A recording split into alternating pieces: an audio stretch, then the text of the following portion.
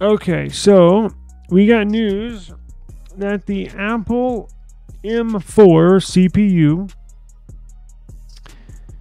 is going to be put in placed in every single Mac product that launches this year and beyond. So whether it's a MacBook Air, whether it's a MacBook Pro, uh, Mac Studio, now that's not to say that whenever the M5 chips, they're not just going to put M4 chip for the next five years. They're going to put it, um, they're going to put it in the Mac series of devices until the replacement comes, the M5 comes along, then they'll replace the M4 with the M5s. But you're not going to see, you know how Apple, as of lately, has kind of been staggering their CPUs, right? They started at, what was it, last year? iPhone 14 would have a 14 Pro, 14 Pro Max would have the Bionic A16, the newest uh, mobile CPU. And then the iPhone 14 and 14 Plus would have last year's flagship CPU, the, the Bionic A15.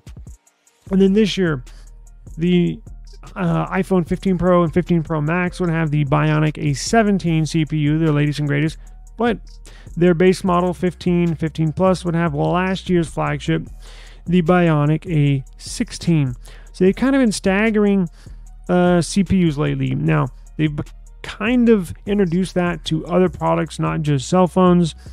Um, but moving forward, they're putting their latest and greatest CPU. Now, this M4 is the very best mobile chipset you can find on the planet. Mobile chipset. I said mobile. Now, I can't put it in a phone, but mobile as in a mobile laptop. They do have some CPUs that are like for desktop only that I'm sure can slightly beat out the M4, but for the average Joe, you and me and everybody else, basically the M4 is as good as it gets. And why did this news leak? Why why now? Because when when we get leaks, when we get information, it comes out for a reason, right? It, stuff just doesn't leak out in thin air. There's not some um there's not some bad guys that sneak into Apple office at four in the morning in Cupertino uh, and uh, break in the Apple office and Tim Tim Cook's office and run out with some PDF with some files under the underneath their arms. They don't. No, no, no. These leaks, most of them, not all of them, right, but most of them, come out from the source, right. So somebody in the PR team uh, of Apple, somebody in the marketing team of Apple, they'll leak this out. They'll push this info to a trusted source, right? Typically with Apple, I believe it's Mark Gurman with Forbes. I believe he's a uh, big quote unquote Apple insider. And they probably are in communication with him, right? He's a trusted source. He's with Forbes. Um, although their news, their tech stories are like five days late, but it is what it is. Um, he gets the exclusives, right? So why did Apple push this out, right? What's the what's what's the reasoning for this? Why why why this? So again, every Mac product, whether it's MacBook, Mac Mini, MacBook Air, MacBook Pro, Mac Studios, the one that costs costs like seven thousand dollars, everything that has that has the word Mac on it from this day moving forward, they're throwing it they're putting an M4 in it.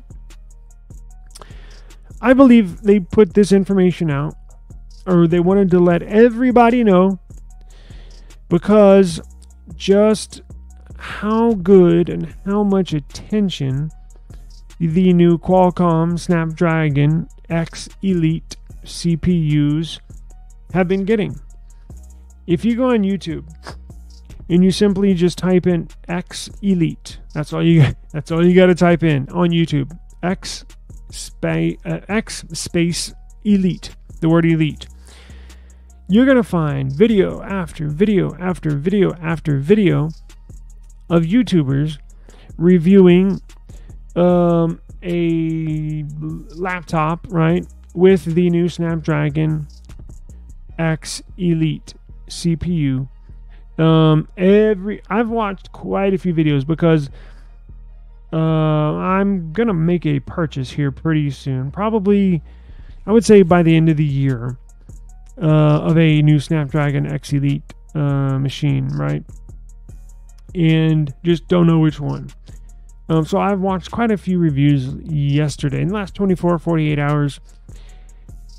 I was hard pressed to find one that spoke bad about it. Now there was one, there was a couple, a handful that weren't too enthusiastic about it, but they did not say anything negative or um, anything bad really about it.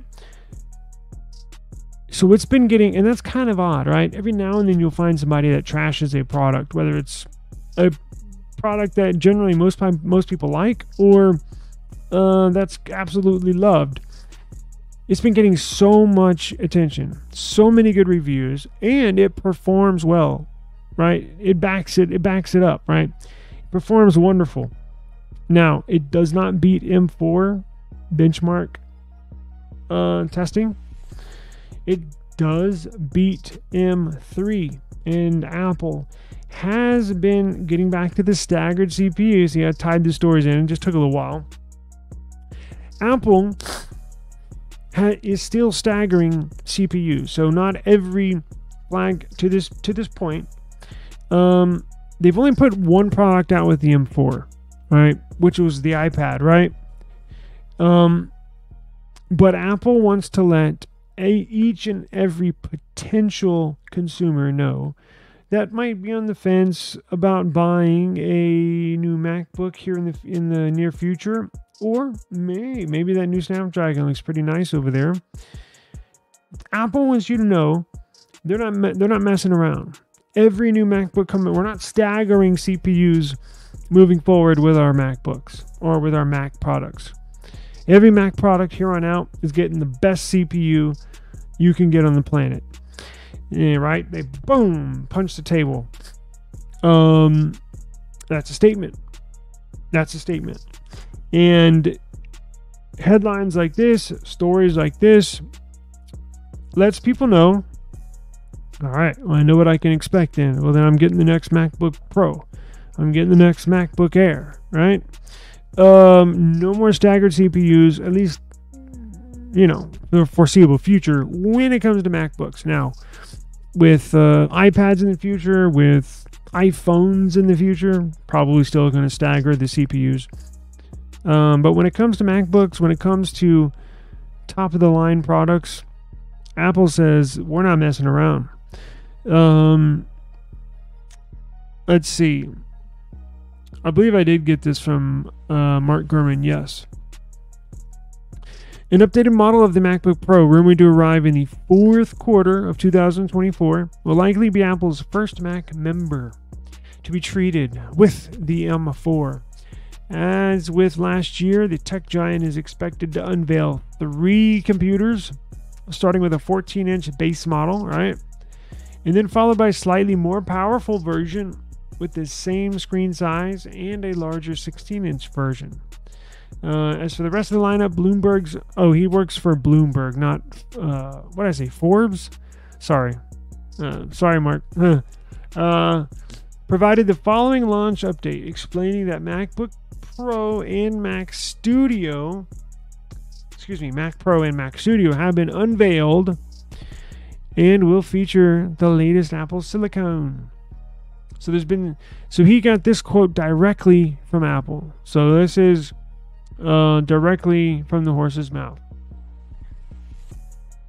Quote There's been speculation online about when to expect the M4 Mac line, which I first discussed months ago. After checking around, I don't see a change in the schedule.